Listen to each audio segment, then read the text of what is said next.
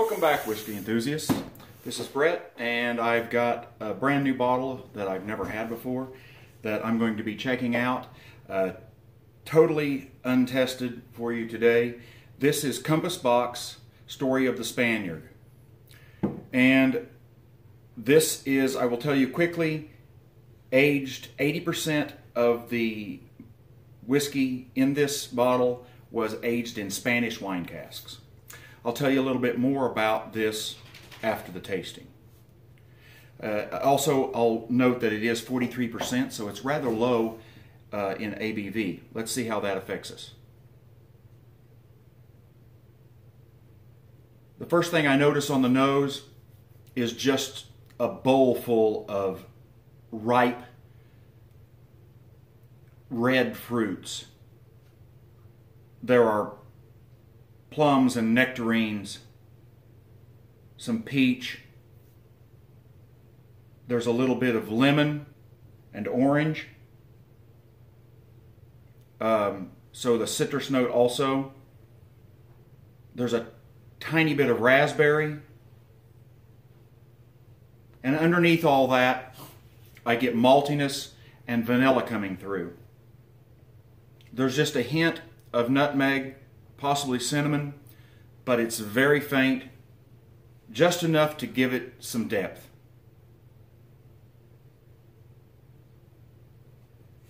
There's kind of a baked bread note in there that is related to the maltiness. All in all, this is a full, rich nose. Um, it's got a lot going for it. I can't find anything that I dislike about the nose. It's not too sweet, it's not too malty. Uh, there's no smoke evident in this at all. The more I stick with it, the more I uh, get some vanilla and caramel notes and more of that malt and less of the fruit, the more I've gotten used to the fruitiness. All in all, I would rate this nose very highly.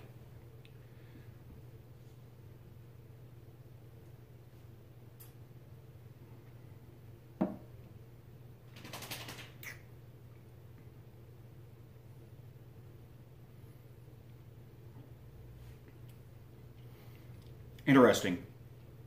On the first taste, uh, the primary thing I got in the palate was not the fruit, it was the malt and that baked bread note.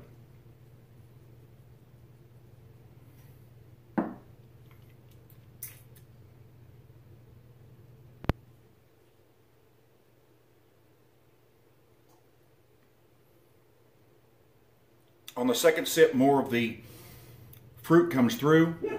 It comes through as a raspberry and strawberry. Not nearly as dark on the fruits as it was on the nose. There's also some vanilla and some spice moves forward in the latter part of the palate.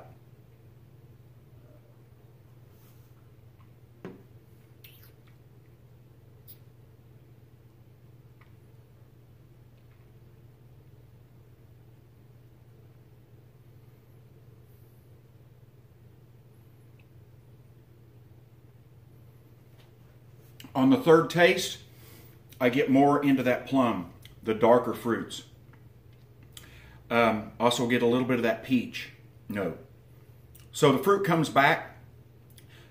Um, it's just not the initial thing that you get on the first sip. I will note that I haven't had anything else to drink prior to this today. So that first sip could have been a little deceiving as my palate got woken to the uh, alcohol. Now, as you move into the last part of the palate, uh, I do get a little bit of black pepper and maybe a little bit of clove. They're not strong, but they're present. Um, it never gets dry. Um, it stays rather rich and fruity, malty. There's no real drying note that you would sometimes expect with a lot of wine finish.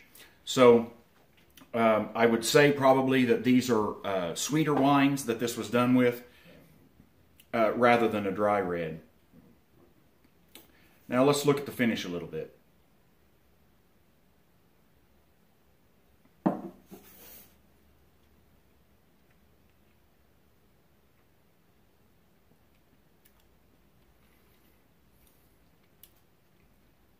In the finish, I get a lingering strawberry note um, mixed with a darker plum.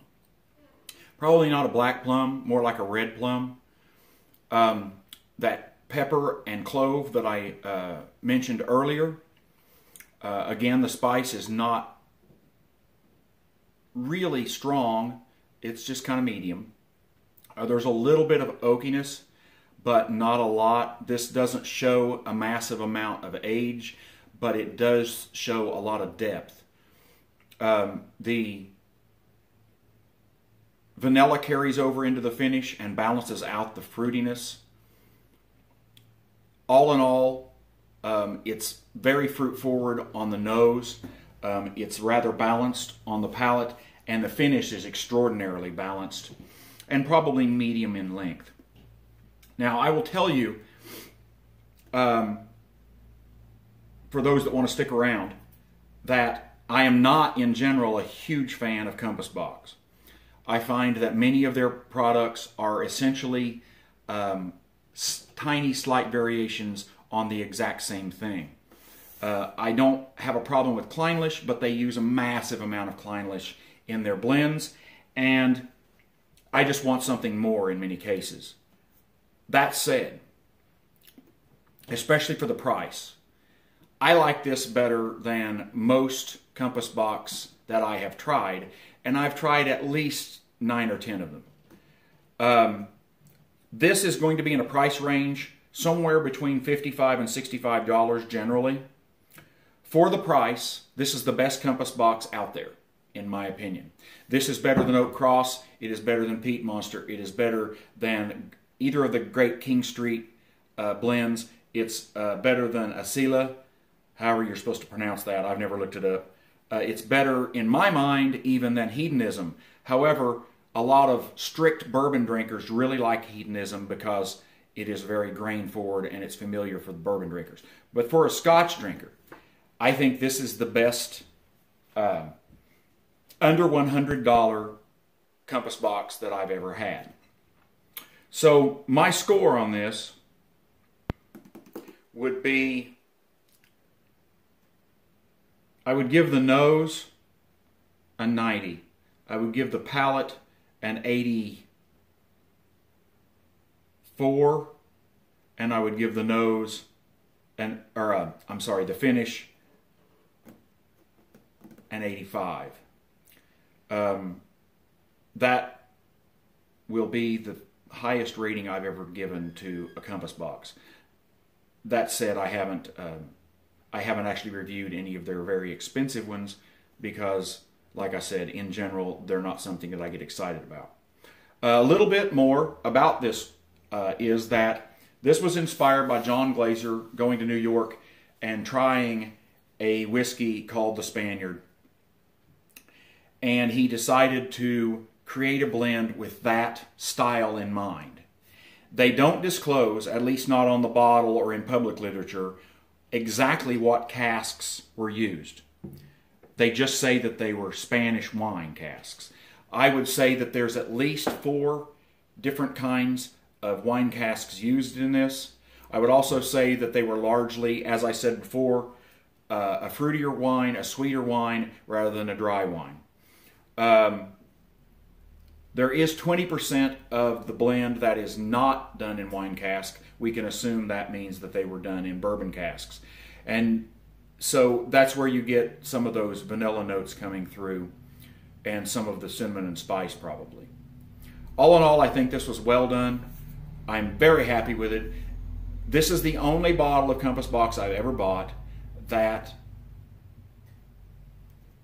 I would actually keep it on my shelf permanently and buy it again and keep it there as a uh, as a standard offering.